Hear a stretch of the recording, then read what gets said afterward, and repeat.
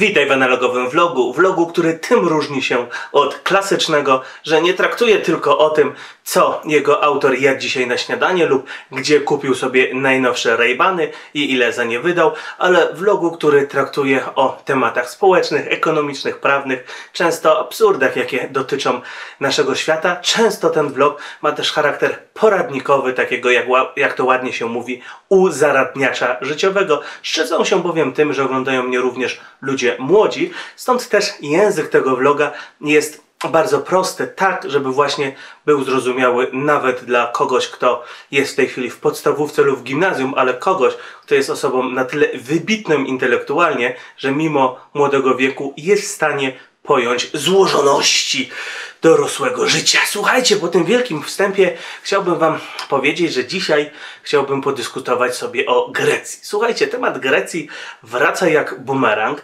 E, wiadomo, były tam wybory, wiadomo, są tak zwane siły nacisku, są ludzie, którzy mają bardzo duże interesy związane z Grecją. Jak nie wiadomo o co chodzi, to chodzi o duże pieniądze, a ponieważ w całej tej wojnie o duże pieniądze bardzo duże znaczenie ma tak zwany rząd dusz, czyli opinia publiczna nastawiana przez media, pomyślałem, że powiem Wam, jaka jest moja opinia na temat tego, o co chodzi w tej cholernej Grecji. A jest to opinia, jakby to ładnie powiedzieć, eh, opinia, którą wyrobiłem sobie na podstawie dość dużego researchu, czyli zdobywania informacji. Słuchajcie, w przypadku Grecji wszyscy mówią, że wszyscy są źli. Grecy mówią, że zła jest Unia Europejska, że zła są banki. Unia Europejska znowu mówi, że Grecy to banda leni i nierobów, którzy żyli ponad stan i teraz nie chcą spłacać swoich długów i tak dalej, i tak dalej, i tak dalej. Najśmieszniejsze jest to, że wszyscy mają rację. Ale mają rację w tej warstwie, której obrzucają błotem innych. I tutaj pojawia się taka swoista e, pętla, nazwijmy to niefajnych rzeczy, którą zacznę od Greków, a w zasadzie od obywateli greckich. Faktem jest, że obywatele grecy żyli ponad stan i faktem jest, że nie chciało im się płacić podatków. E, słuchajcie, no to już mm, do roli legendy urosło to, że jak w knajpie greckiej pójdzie, właśnie pójdziesz do knajpy greckiej i poprosisz o rachunek, to nie ma bata, żebyś dostał rachunek, żebyś dostał tak zwany paragon fiskalny, tylko kelner ci tam na karteczce gdzieś długopisem e, napisze, ile masz mu zapłacić, a później to podrze. Dlaczego? No, żeby nie płacić podatków. Tak samo jest z basenami, całą masą innych rzeczy. Grecy notorycznie nie płacą podatków. Po prostu bo nie. Za to uwielbiają dostawać różne rzeczy. Uwielbiają różne trzynastki, czternastki, dodatki za to, że w miejscu pracy nie ma windy, dodatki za to, że córka nie wyszła e, za mąż do 30 roku życia i tak dalej, i tak dalej, i tak dalej. Uwielbiali te dodatki. No to jak nie ma bata. Jak nie masz czego, a trzeba zapłacić kolego, to trzeba pożyczyć. I przed takim dylematem stał, stały właśnie kolejne partie polityczne, które się starały o przejęcie władzy w Grecji. I tutaj mamy drugiego winnego, czyli właśnie polityków. Ci politycy mieli bowiem wybór. Albo powiedzieć Grekom, basta, chłopaki, jak nie zarobiłeś na chleb, to tego chleba nie dostaniesz i będziesz głodny. I nie ma tak, że ty nie płacisz podatków, czyli nie dorzucasz się do wspólnego budżetu, za to z tego budżetu strasznie dużo chciałbyś ciągnąć, bo jak to robi jedna osoba na 100, to jest jeszcze ok, ale jak taki numer próbuje zrobić 80 osób na 100, no to już sorry widzę tu, nie może tak być, że każdy jeden Grek średnio brał z budżetu więcej niż e, do tego budżetu dokładał, bo po prostu wtedy się robi co? Deficyt budżetowy. Ten deficyt trzeba z czegoś pokryć. No ale tak to już jest, że w państwach, to tak jak w Polsce, słuchajcie.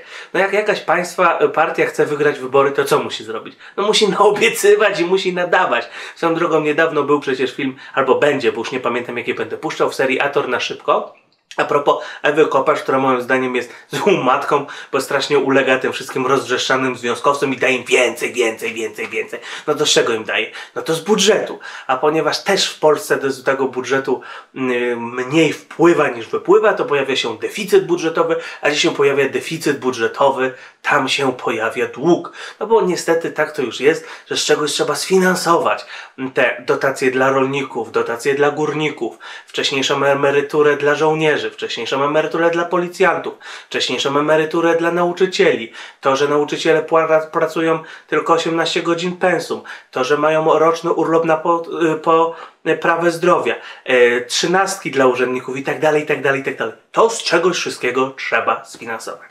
No i tutaj politycy nie umieli w Grecji powiedzieć, zresztą tak jak nasi, tylko na o wiele większą skalę, bo tam był o wiele większy problem, o wiele większe rozbestwienie społeczne. No i tam ci politycy nie umieli się powstrzymać, nie umieli przerwać tej spirali rozdawania. Rozdawali na prawo i lewo. Naprawdę Grecy byli tak cholernie socjalnym państwem, że to głowa mała. To nie jest dowcip. Naprawdę tam należał się dodatek, jeżeli pracowałeś y, w pracowałeś e, gdzieś, gdzie nie było windy, a budynek miał powyżej iluś tam pięter, trzech czy czterech. No słuchajcie, straszne, musisz wejść codziennie po schodach do pracy, należy ci się za to dodatek. To, że dodatek dostawały mm, niezamężne córki powyżej pewnego tam roku życia, to też zdaje się, że jest prawda. No, masakryczne tam te dodatki były, a na wcześniejszych emeryturach to chyba byli prawie wszyscy Grecy. No to z czegoś musieli ci politycy ten hajs brać. No to, no skąd brali go? No pożyczali. Pożyczali go głównie od niemieckich i francuskich banków. I to jest, jest wina, autentyczna wina tych niemieckich i francuskich banków, bo ci bankierzy wiedzieli, że Grecy tych długów nie oddadzą. A przynajmniej takie jest pojęcie w prawie, że powinni byli wiedzieć. Gdyby dochowali należytej staranności, to powinni byli wiedzieć. Każdy jeden bowiem wie, no to y, weźmy to, sprowadźmy do roli takiego normalnego człowieka, normalnej rodziny, wtedy zawsze łatwiej jest sobie wyobrazić. Jeżeli masz kolegę, nazwijmy go Grześ. Jeżeli Grześ jest utracjuszem, który żyje ponad stan, zarabia powiedzmy 2000 zł, ale miesiąc w miesiąc brakuje mu do pierwszego 1000 zł, yy, czyli bo on wydaje 3000 zł, i ten Grześ miesiąc w miesiąc e, chce pożyczyć ten tysiąc złotych, ale on go nie wydaje na inwestycje. On go wydaje na rozpierdzielanki. Wydaje go na knajpy, wydaje go na bilety do kina, wydaje go na nowe kurtki, wydaje go na nowe koszule, wydaje go na raty na samochód, czyli nie inwestuje, to jasnym jest, że Grześ nie będzie w stanie tych pieniędzy spłacić. Gdyby Grześ bowiem inwestował, to byłaby szansa, że w późniejszym czasie będzie miał większe przychody i z tych przychodów spłaci. Tak samo jak państwo. Gdyby na przykład za te pożyczki stawiali fabryki, później te fabryki by coś produkowały na eksport, to jest szansa, że spłacą kredyty z przychodów. Ale jeżeli mm, za te kredyty są budowane e, nowe aquaparki, do których mało kto chodzi, bo nawet miejscowość 3000 mieszkańców ma swój aquapark, to raczej się te aquaparki nie zwrócą. tak samo jest to, tak, tak jak z tym Grzesiem, tak? Jeżeli Grześ miesiąc miesiąc poży musił pożyczyć na życie 1000 złotych, no to jaka jest szansa, że po trzech latach takiej zabawy Grześ nagle stwierdził, hmm, dobra, to ja byłem Grzesiem rozpustnikiem, a teraz nagle stanę się Grzesiem oszczędzaczkiem, wtedy nie umiałem przeżyć za 2000 zł, ale teraz przeżyję za 1000, bo teraz nie będę już pożyczał tysiąca, tylko teraz będę tobie ten tysiąc oddawał. No żadna ten grześ, to się nazywa w odniesieniu do konsumenta, to się nazywa spirala długów. Zacznie za chwilę pożyczać nie 1000 zł, tylko 1200, 1300, 1400, bo oprócz tego 1000 będzie musiał spłacać odsetki, więc będzie musiał pożyczyć i na ratę, i na odsetki, i tak dalej, i żaden rozsądny bank konsumentowi, normalnemu człowiekowi, który się w ten sposób zachowuje, nie pożyczy, powie, że ten człowiek mu tych pieniędzy w końcu nie odda. I tak samo wiedziały głównie niemieckie i francuskie banki w odniesieniu do Grecji. No bo Grecja były takim grzesiem. Ale co wiedziały francuskie i niemieckie banki? Wiedziały, że Grześ jest w takim klubie, klubie wzajemnej pomocy i ten klub jest tak zorganizowany, że koledzy Grzesia muszą spłacić długi Grzesia, jeśli Grześ nie będzie tych, tego długu spłacał. W odniesieniu do Grecji ten klub nazywa się Unia Europejska, a konkretnie Europejska Unia Walutowa, czy jak to kto woli, strefa euro. Mogłem przekręcić nazwę, nagrywam ten vlog y, późno w nocy. Generalnie chodzi o to, że gdyby Grecja zbankrutowała, gdyby w Grecji się zaczynało robić bardzo, bardzo źle, to cała waluta euro zaczyna mieć problemy. W związku z tym problemy mają wszystkie te kraje, w, w których walutą jest euro. Jeżeli chcecie wiedzieć dlaczego, jakie elementy ekonomiczne tam działają, przepraszam, napiszcie mi to w komentarzach, to się wtedy jeśli tych komentarzy będzie naprawdę dużo, zrobię na ten temat oddzielnego analogowego vloga, a na razie uwierzcie mi na słowo, jeżeli Grecja zbankrutuje, mając za walutę euro, to wszystkie kraje strefy euro na tym stracą.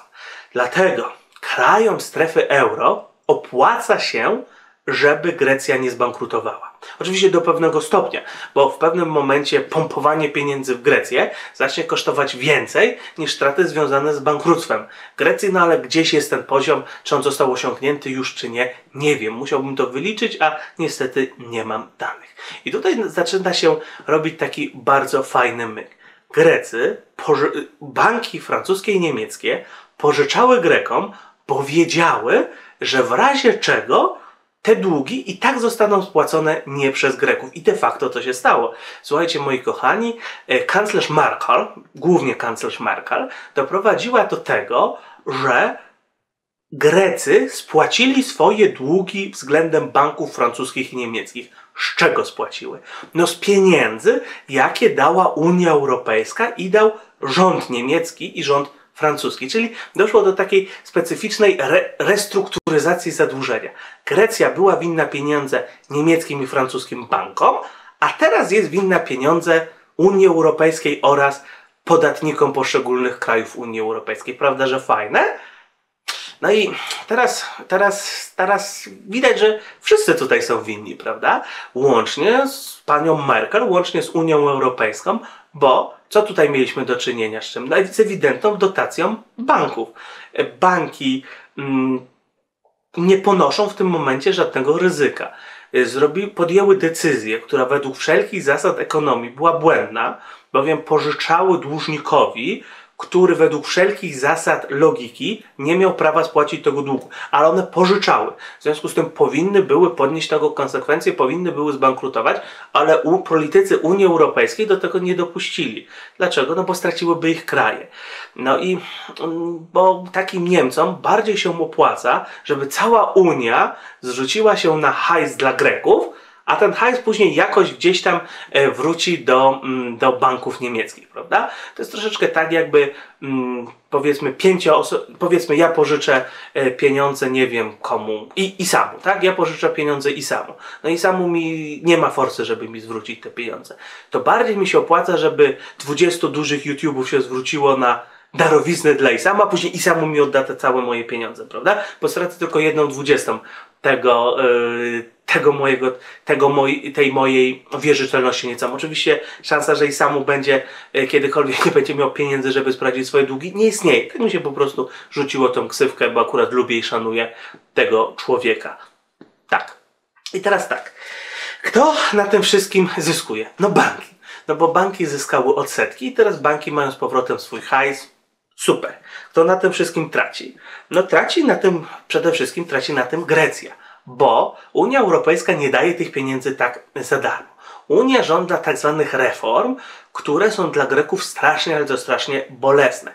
To nie są bolesne tylko tak dla Greków w tym takim znaczeniu, że mm, Unia już no bo, bo, Unia nie chce mieć za chwilę znowu tego problemu, więc chce im skasować te wszystkie cholerne przywileje, te właśnie dodatki za czwarte piętro bez windy. To jest prawda i oni, oni też tego nie lubią, ale przede wszystkim żąda strasznych cięć, mm, co straszliwie spowalnia im gospodarkę i taktylnym wejściem, o tym się nie mówi, ale coraz to kolejne zakłady, coraz to kolejne połacie ziemi przechodzą na własność, nazwijmy to, nie Greków. Także Grecy na tym bardzo cierpią. Ich kraj nie zbankrutował, ale PKB w dół i poziom życia w dół i to poziom życia dużo bardziej w dół niż powinien. Kto na tym, tym również traci? No, cała Unia Europejska, wszyscy podatnicy. I ty, jeśli pracujesz, i ja, i twoi rodzice, i twoja żona, i twoja kochanka, i twoje dzieci, jeśli pracują. No bo skoro hajs dla Greków poszedł od Unii Europejskiej, to skąd Unia Europejska ma pieniądze? No Unia Europejska ma pieniądze ze składek członkowskich krajów członkowskich. A kraje członkowskie skąd mają pieniądze? No od podatnika. No i oczywiście specjalnie też jest w cztery litery ładowany, jak to się brzydko mówi, podatnik niemiecki i francuski. No bo tamte kraje, tak poza Unią Europejską, jeszcze dodatkowo dużo hajsu sypnęły. I tyle, moi kochani. Tyle o, o, o to chodzi w całym tym mm, wariancie greckim.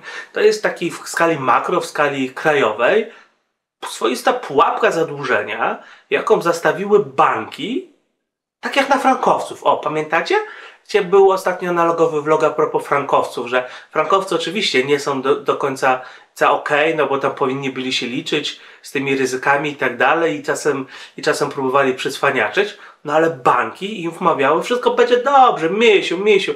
Frank jest bardzo, bardzo silną walutą, to musiałby być straszny krach, żeby frank kosztował powyżej 3 zł, a dopiero przy kursie 3 zł płaciłbyś taką samą maratę jak, y, jak przy kredycie, jak przy kredycie złotówkowym. To jeden z większych doradców finansowych tak mówił, bodajże Expander, ale nie jestem pewny. Tak samo było tutaj. Banki wiedziały, że Grecy nie będą w stanie spłacić tych pożyczek, ale im dawali. Dlaczego? No bo przez jakiś czas żywili się bardzo dobrymi odsetkami, a później tak wiedzieli, że Unia im to spłaci. No i spłaca, a my wszyscy tracimy. Trzymajcie się i do zobaczenia. Pa! A ja zapraszam do obejrzenia mojego analogowego vloga. Tutaj się pojawia cała playlista analogowy vlog. Jeden z analogowych vlogów mówi, kto tak naprawdę rządzi światem. I tam jest właśnie taka teza, że bankierzy. Wy się bardzo często do mnie do, dopominacie o vlog o iluminatach. O takich mistycznych kolesiach, którzy moim zdaniem rządzą światem. To znaczy, według wielu rządzą światem. Słuchajcie, czy iluminaci istnieją, czy iluminaci nie istnieją, to można sobie podyskutować. Ale na pewno istnieją banki, które należą do innych banków, a te banki należą do innych banków i w sumie to jest taka piramida, na szczycie której wcale jest bardzo, bardzo mało ludzi, a, ci, a ponieważ banki rządzą rządami, to moim zdaniem rządzą też światem. No to czy ludzie, którzy rządzą bankami tak naprawdę nie rządzą światem? Zapraszam Was do obejrzenia analogowego vloga pod tytułem Kto tak naprawdę rządzi światem? Nazywajcie się jak chcesz. Jak, jeśli macie ochotę, to również Illuminati, bo gdyby, moim zdaniem, gdyby Illuminaci naprawdę istnieli, to powinni być bankierami. Trzymajcie się i do zobaczenia. Papa, pa. nie wiem jak bardziej Wam to wprost powiedzieć, no obejrzyjcie ten vlog i przestańcie mi wreszcie jęczeć o vloga o Illuminatach. Cześć, trzymajcie się, pa!